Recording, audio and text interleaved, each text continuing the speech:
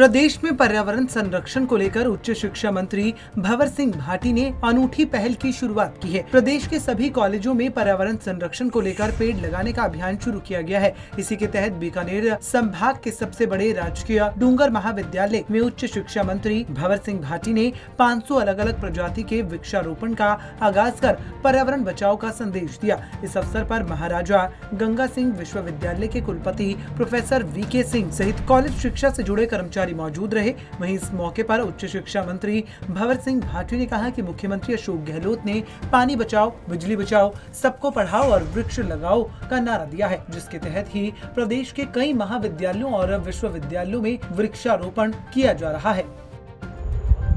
देखिए, राजस्थान के हमारे माननीय जननायक मुख्यमंत्री अशोक गहलोत जी का हमेशा एक नारा रहा है। पानी बचाओ, बिजली बचाओ सबको पढ़ाओ और वृक्ष लगाओ। इन चार बातों पर वो हमेशा ज़ोर देते हैं। और अभी हम सब लोगों ने कोरोन, कोरोना के समय में ऑक्सीजन की कमी को महसूस किया है। और पेड़ हमें ऑक्सीजन देते हैं। हम सब लोगों ने, लोगों को ये संकल्प लेना चाहिए कि कम से कम एक पौधा हर व्यक्ति इस साल लगाए और उस पौधे की देखभाल करें। कल लॉ कॉलेज में हमने एक सौ इक्यावन पौधे लगाए थे।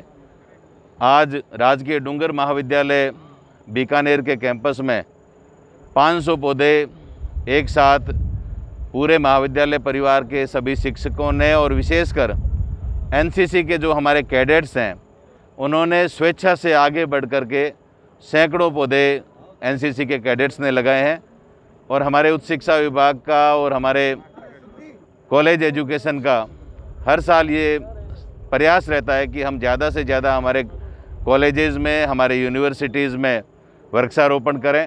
बीकानेर के महाराजा गंगा सिंह विश्वविद्यालय में भी वहाँ के कुलपति महोदय ने बड़ी संख्या में वृक्षारोपण करने की, का, की एक मुहिम चलाई है, जो बहुत जल्दी शुरू होने वाली है। और उसमें बड़ी संख्या में महाराजा गंगा सिंह विश्वविद्यालय के परिसर में भी पौधे लगाए जाएँगे। और मैं तो आज आप सब के माध्यम से राजस्थान के मुख्यमंत्री अशोक गहलोत जी का जो संदेश है, वो यही है कि ज़्यादा से ज़्यादा पौधे लगाएँ, जिससे कि हमें ऑक्सीजन की कमी नहीं रहे, हमारा वातावरण ठीक रहे, हम प्रदूषण से मुक्त हो सकें।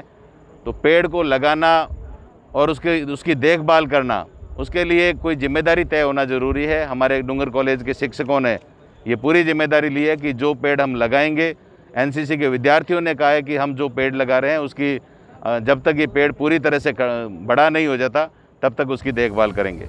शनिवार को भी राजकीय महाविद्यालय में एक सौ इक्यावन पौधे लगाए गए। वहीं डूंगर कॉलेज में विभिन्न प्रजातियों के लगभग 500 पौधों का वृक्षारोपण किया गया है और इस दौरान उच्च शिक्षा मंत्री ने राष्ट्रीय महत्व के इस कार्यक्रम में योगदान देने वाले लोगों की सराहना की। पंजाब केसरी टीवी के लिए बीकानेर से आनंद प्रताप आचार्य की रिपोर्ट।